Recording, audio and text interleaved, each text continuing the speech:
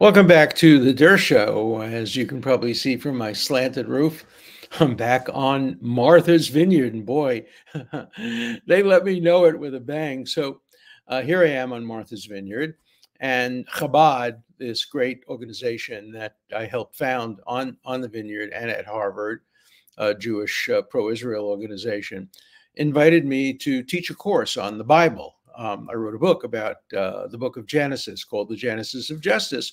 So the rabbi at Chabad asked me to teach uh, a four unit course on the book of, of Genesis. Um, people signed up, it was fine. Then the opposition started. Uh, people started threatening to quit uh, Chabad and to boycott and protest. Uh, the fact that this organization would give me a platform, me, somebody who actually defended Donald Trump and the Constitution of the United States in front of the Senate. How could any Martha's Vineyard organization allow me to teach a class? And so uh, protests began all over the island, and letters were written, and there's a website now, and people are attacking me, and people are are scamming me, and and and uh, uh, doing all kinds of things in order to protest my being on Martha's Vineyard. There were signs uh, last year impeach Alan Dershowitz, throw him off the vineyard. This is the place of left wing tolerance. No, this is the place of hard left uh, McCarthyism. But I'm going to teach the class, and there will be protests. And I will continue to defend anybody whose constitutional rights are violated, whether they're Republicans or Democrats. And I will continue to oppose the get Trump mentality that uh, that uh, exists, um, particularly on Martha's Vineyard and in places like uh, like Chilmark. Uh, the irony, of course, is Chilmark itself was subject to McCarthyism back in the 1950s because so many of its residents had been communists or socialists. And now their uh, spiritual descendants who live on the vineyard, the, the hard left, are engaging in their own form of McCarthyism. They will not tolerate the presence of a person who defended Donald Trump on the floor of the Senate against an unconstitutional impeachment. But I'm going to continue to to do it. All right, obviously, the news, uh, which I predicted, of course, uh, as you remember, is that uh, um, President Biden has decided not to run for reelection. I knew that was going to happen. He couldn't resist. This is probably the first case in history where a newspaper uh, decided who was going to be president. The New York Times um, really uh, was responsible, at least in substantial part, for the decision of, of Biden to step down and not to run. He couldn't tolerate the fact that virtually every journalist, every journalist associated with the Times, I don't think of any exceptions, called for his uh, stepping down and uh, said that uh, uh, he could not win and could not beat um, uh, Donald Trump. And so he couldn't resist it, and you know donors and others uh, decided to pull the plug, and um, he went along with it. And um, not surprisingly, uh, he also endorsed uh, Kamala Harris to uh, replace him. So look, I'm not a politician, so uh, you can have your own judgments. I haven't yet decided who to vote for. My vote may depend in part on who Kamala Harris picks to be vice president. Obviously, if she picks um, um, uh, Liz Warren, I can't vote for Liz Warren. She's a racist, sexist, DEI bigot. Uh, I know her. I've known her for uh, 40 years, and I wouldn't trust her uh, to govern anything. You know, she's a bankruptcy uh, lawyer. When she first decided to run, she called me in and said, Alan, I don't know anything about foreign policy. Maybe you can give me a tutorial in the Middle East. She didn't even know where Israel was. Um, and now she's one of the most virulently anti-Israel, anti-American, anti-Western um, uh, people in the Senate. She's a, a, a, horrible disgrace to Harvard and to the Senate uh, and to America. And um, so, if she's on the ticket, forget about it. I will campaign vigorously against any ticket that Liz Warren is on, because if she became the president of the United States, she would sell out this country. She would put this country into bankruptcy, uh, to use her own um, uh, uh, issue that she is uh, an expert on, the only issue she's an expert on. When I made my argument in front of the United States Senate, an argument that was as crystal clear as anything could be based on the Constitution, she gave a press conference saying she didn't understand anything I said. That's not my fault. That's her fault if she can't understand a simple, straightforward constitutional argument. So it it all depends. Um, obviously, if um, if uh, Kamala Harris were to pick a centrist, a moderate, um, like Manchin, I don't think she would pick him, or like Josh Shapiro, more likely, or others. Uh, that would factor into my consideration. So um, people are telling me who to vote for. I'm going to make that decision. That's my constitutional right. My wife will make her decision. It may not be the same as mine. Uh, my children will make their decisions. I'm sure it will not be in all cases the same as mine. We'll we'll wait and see. But uh, for this show, what I wanted to do is lend my own particular expertise to the to the headlines instead of getting involved in, in, in political considerations. I want to talk about the legal issues that grow out of the fact that really, for the first time since Lyndon Johnson, a sitting president, uh, decided not to seek uh, reelection and has to be replaced. Lyndon Johnson did it early, I think it was in March of 1968. So there was time for the convention and primaries and others to decide who to nominate. It was Hubert Humphrey. He eventually lost to Richard Nixon. I campaigned hard for Hubert Humphrey, who I think would have been a great, a great president, but it was not to be. But this is not March. this is uh, July, and um, we're only um, you know a few uh, weeks away from the Democratic convention, and only a few months away from the election. So legal issues opposed. Let, let me start with the most intriguing but the most far fetched legal issue that's all over the internet.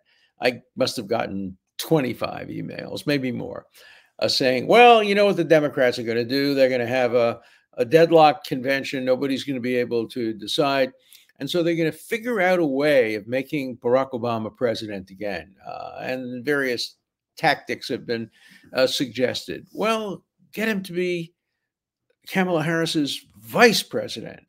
And then when Kamala Harris wins the election, she steps down and automatically the vice president becomes the president. And, and that way it's permissible because uh, you remember the Constitution, 22nd Amendment, doesn't say that a person can't serve three terms Here's what it says No person shall be elected, elected to the office of president more than twice. So, what they're saying is he was elected to the office of president only twice, and then he became the president through the resignation of the president because he was the vice president. There were about 18 things wrong with that, but uh, let me let me go over the two of the most obvious.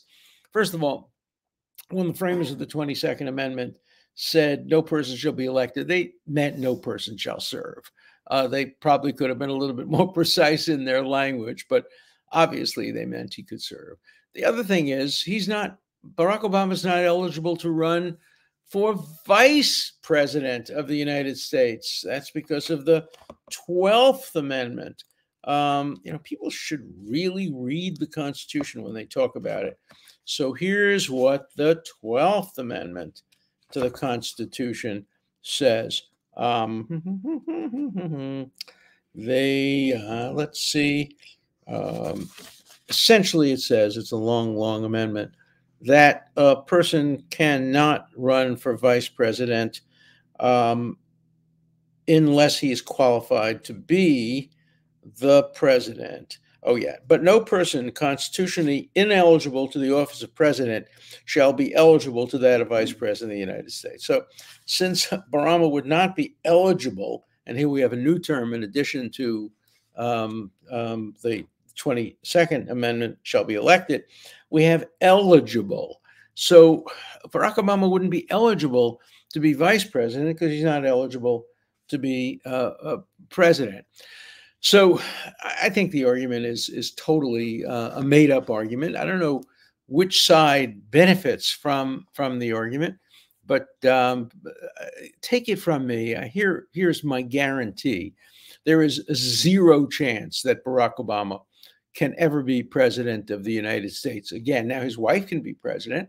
And I think his wife, you know, a lot of people say she doesn't want to be president. I don't believe that for a minute if she thought she could be nominated and elected, I think she would want to be the president of the United States. I don't think she could be um, nominated or she could be nominated probably, but I don't think she would win. I think she would lose. Um, and in any event, uh, she's not going to run against Kamala Harris. So um, I think what we're going to see is Kamala Harris um, get the nomination. Um, and the reason some of it is legal. Number one, there's a large pocket of money that has been donated already to the um, Biden um, um, Harris campaign. Let, us be very clear about that. Mm. This is money that goes directly to the campaign, which means that it has limits to the amount any donor can give. It's, these are not PAC. This is not PAC money. I have to be very clear about this. This is a hard technical legal argument, but it's very important.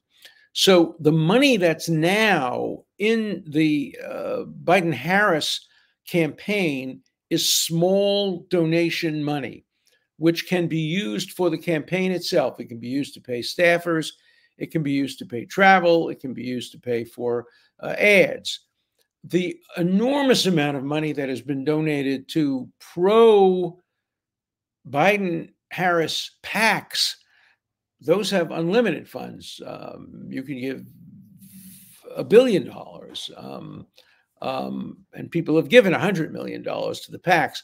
The problem is the PACs can't contribute to the campaigns directly. They can do virtually everything else, but technically they can't pay for staff members. They can't pay for travel. They can't pay for rent. They can't pay for uh, for ads that come from the campaign itself. They can have their own uh, ads, and so there's this big pot of money that's already been raised for the campaign.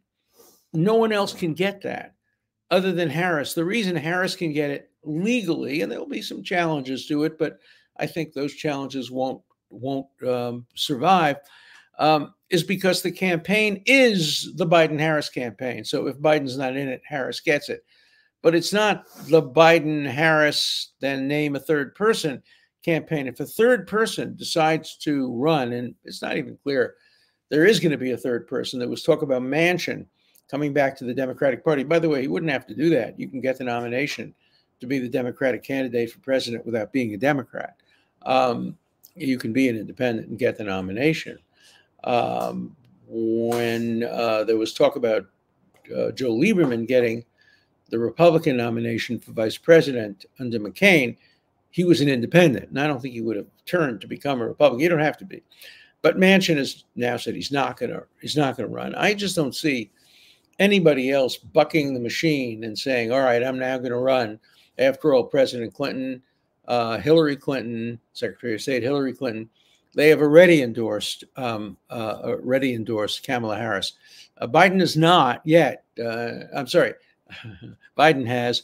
Uh, Obama has not yet endorsed her, and some people are saying, "Oh, that's because he wants his wife to be president." No, I don't think so. I think he's generally taken the position from the beginning that as a former president, something that Clinton is too, he's not going to nominate anybody in the nominating process. He's going to support whoever the candidate is.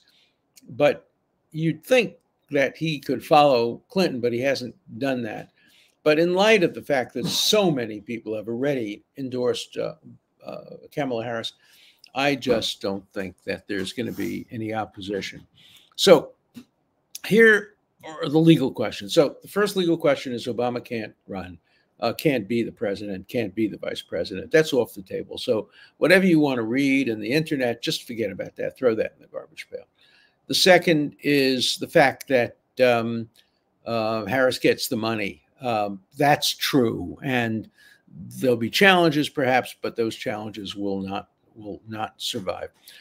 And so the third question now is: Is it too late for Kamala Harris's name to be put uh, the, as president um, in in various states? And the answer to that is no.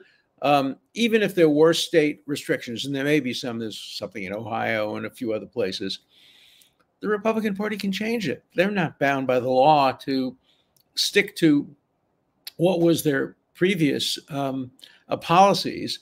They're not the government, they are a political party, and they have tremendous flexibility in deciding what the rules are. And there might be some states that have rules that say you have to be on the ballot so and so weeks or months in advance. But they too, even though they're government, they too can change. So I think we can be absolutely assured that Kamala Harris will be on the ballot in, in every state. Oh, just one one other point, and one of the people who's being considered for vice president, obviously there are a lot of people who are considered, but one is Gavin Newsom, and uh, people are saying, "Oh no, no, no, no, he can't be on the ballot because he comes from the same state as as Kamala Harris." And I don't think either of them can really change states at this point. She is, after all, the vice president. He is, after all, the governor. He certainly can't change states. But it's not an absolute barrier to running um, um, under the 12th Amendment. Uh, he can run. Uh, if he gets nominated, he can run. And then the electors would have to meet.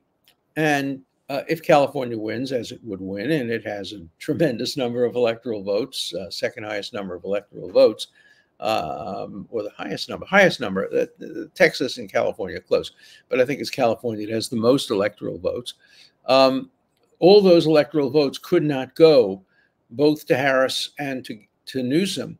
Um, and then if that made the difference, um, you'd still have a president, but the vice president's race would then be thrown to the House of Representatives. And the question is, which House of Representatives? Is it the House of Representatives that exists now, um, which is um, uh, controlled by um, uh, the Republicans, or is it the House of Representatives that would be elected uh, on election day um, uh, and takes office on January 1st? It's, it's a very interesting question because the electoral votes are cast in December, but not really validated until January. So you have a hiatus here, and and and um, and it's possible you'd have a Republican House. Um, unlikely, but it's possible you'd have a Republican House. In any event, it is theoretically possible that Gavin Newsom could be nominated to be vice president, but practically, very unlikely. The Republicans had greater flexibility for that when they were thinking about uh, Rubio being nominated. Comes from the same state as as as Trump. Of course, Trump could always change his residency by you know obviously um, Rubio couldn't. But even so, uh, if the House were then controlled by Republicans, and if the vice presidency were to be thrown into the House, it would be no harm, no foul. They would just elect uh, Rubio. But with the Democrats, it's different. So Gavin Newsom, although theoretically eligible to run for vice president is not going to get the nomination. So the nomination is likely to go to a, a, a governor um, and it's likely to go to a male governor. I mean, it would be so interesting and it would really get a lot of people very energized if it was an all woman ticket. If Kamala Harris, um, you know, were to nominate one of the governors uh, who's on the list, who are or a woman or a senator who's a woman. Um, so that's a political issue. There's no legal issue attached to that. So law plays too great a role, in my view, in presidential elections. I mean, we're seeing these absurd criminal charges being thrown at Donald Trump. Uh, my book, Get Trump, makes that point, I think, quite strongly. Um, none of those cases are, are particularly strong. The only one that has any validity at all is the Florida case involving the documents, and that's that's a misdemeanor essentially. I mean, it, maybe it's called a felony, but it's a it's the kind of thing every president does. They all take home with them some classified material, and I'm sure they all show it to friends or tell it to friends. So uh, even if he were to be convicted of that, it wouldn't be a big deal. The only thing he's been convicted of is the non-crime in New York. But uh, law plays too much of, a role, uh, in my view, in in, in politics. And uh, but uh, my message for you today is that the law is not going to play a major role in who gets selected to be um, either the presidential or vice presidential candidates of the Democratic Party. So uh, feel free uh, to vote your conscience. Uh, the law is not going to stop you from voting who you want to vote for. Uh, let your views be known, lobby, uh, write, um, speak out. Um, we know who the Republican nominees are, are going to be. Uh, we don't know who the Democratic nominees are going to be, but my prediction, and I'll make a prediction so far, I'm 100%, uh, is that uh, Kamala Harris will be the nominee of the Democratic Party and that um, either she will pick, she was smart, you know what she would do? She would throw open the vice presidential nomination to an open convention and have debates and discussion that would attract a lot of attention to the convention. I don't think she's going to do that. I think she's going to make a decision once it's clear that she has the nomination in hand. She's going to make the decision as to who she picks, and that will have uh, an impact on who independents and people like me uh, uh, uh, uh vote for. Um, the selection of Vance um, by um, by um, Trump clearly has had an impact on people. It's um, taken moderates and said, well, you know, we thought maybe he'd pick somebody more to the center, uh, more moderate, uh, but he's picked somebody who is probably to the right of him, certainly on foreign policy, uh, to the right of him. So we'll have that impact our our election. So okay. Um, let's uh, turn now to some questions. Most of the questions um, I received before the statement was made by President Biden that he's getting out of the election, but there there's some that came afterwards. So here they are. You just can't pick a good candidate for president. This is directed to me. Obama twice. Well, the second time I regretted the vote. Uh, Hillary Clinton. I still support Hillary Clinton. Uh, Biden, I think that was the right vote for me. Carter, I didn't. I, I, voted for Carter, but I campaigned against him for the nomination. Uh, McGovern, I did support uh, McGovern, and Dukakis, I did support Dukakis. Be an American and forget about being such a hypnotized Democrat of the early 1960s. And Johnson was a racist, couldn't stand African Americans. You're embarrassing yourself. Lyndon Johnson did more for African Americans probably than any president in history. He under his uh, presidency, more civil rights acts were passed than under any other president. And so uh, I, I, absolutely deny your uh, characterization of Lyndon Johnson. He was a deeply, deeply flawed man. So was John Kennedy, a deeply, deeply flawed man.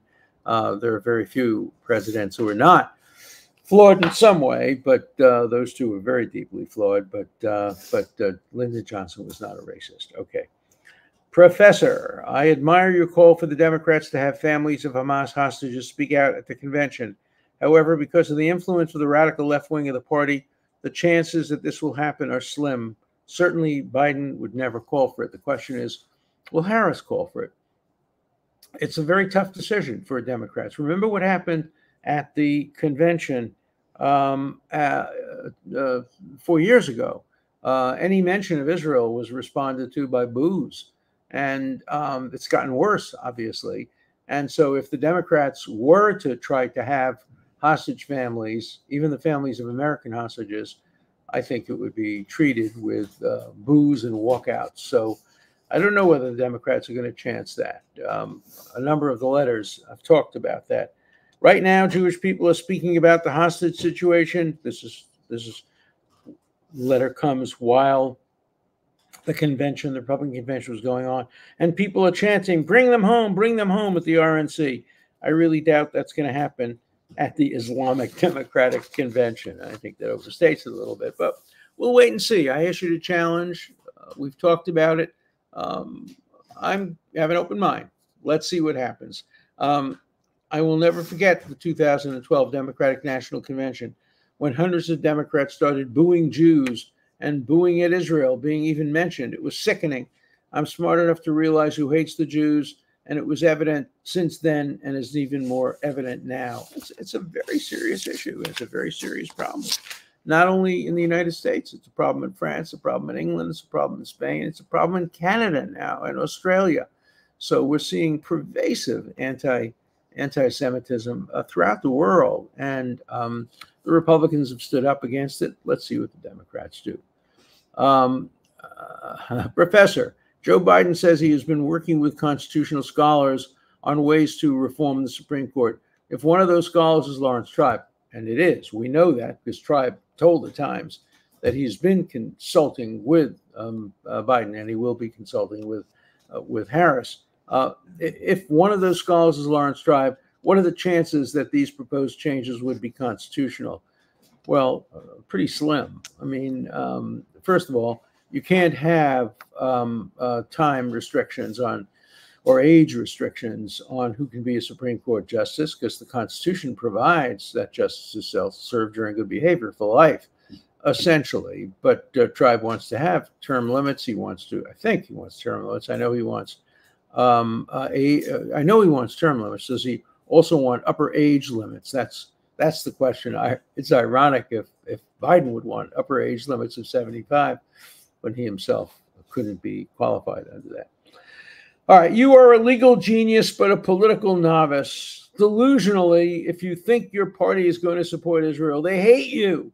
Why does that not penetrate your skull? There are a lot of people in the Democratic Party who hate me, obviously. Uh, people who live on Martha's Vineyard hate me, and they hate me because um, I'm not a down the line Democrat who supports everything the Democrats do. I do support Israel, and I do support Donald Trump's constitutional rights. So, again, hard question for me. It's an easy question uh, for political conservatives who support Israel.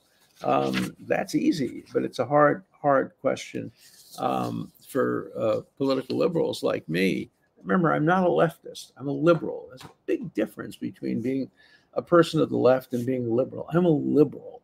I'm very much like classic conservatives, support free speech, due process, a variety of freedoms and liberty. So, um, but it's hard. It's hard because I believe in a woman's right for the most part to choose. I believe in gay rights. I believe in a range of issues that the Republican platform uh, takes uh, a somewhat more negative view on. Okay.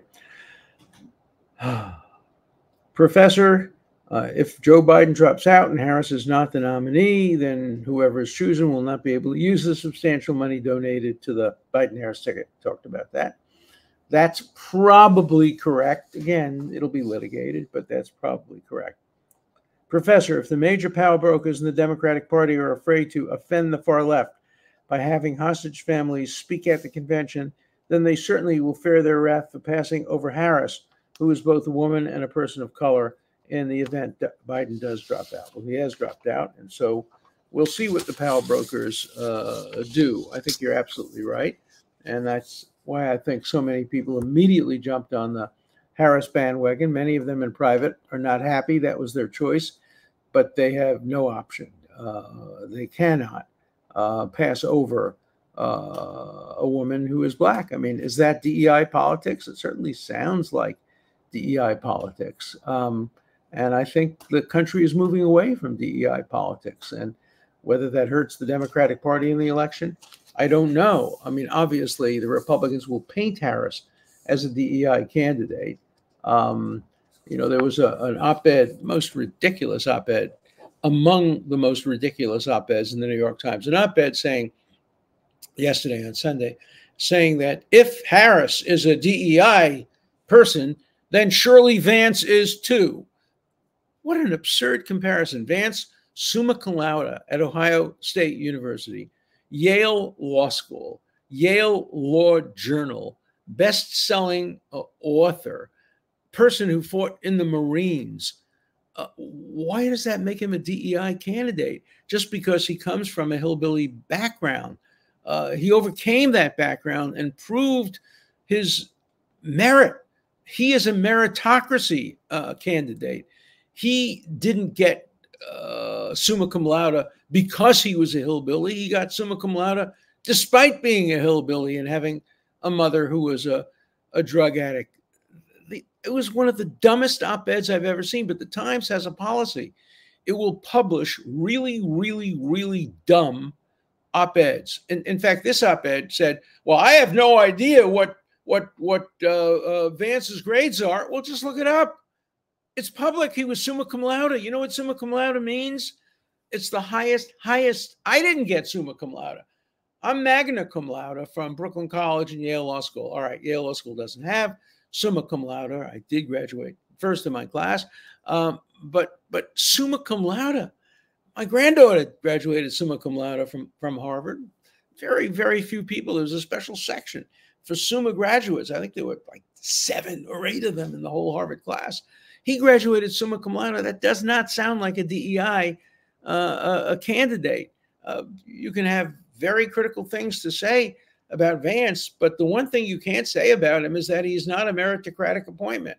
You can say that, whether it's true or not. It's certainly a plausible argument that you can make that argument about uh, Harris. She flunked the bar. Uh, she did not have a distinguished uh, career.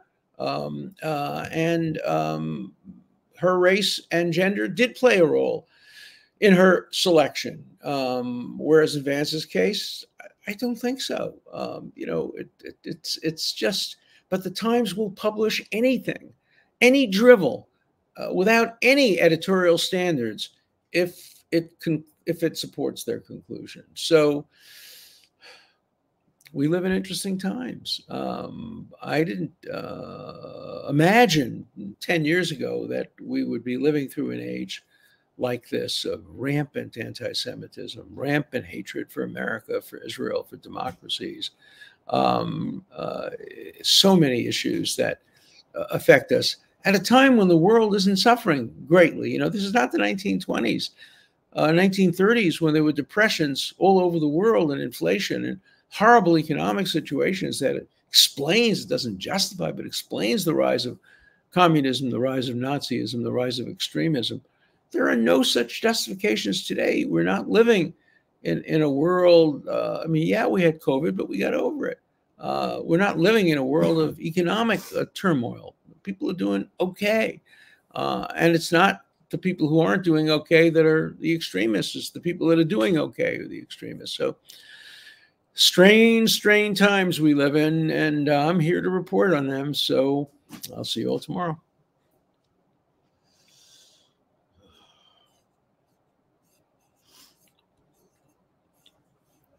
Was that about half an hour? I didn't have a watch. I know.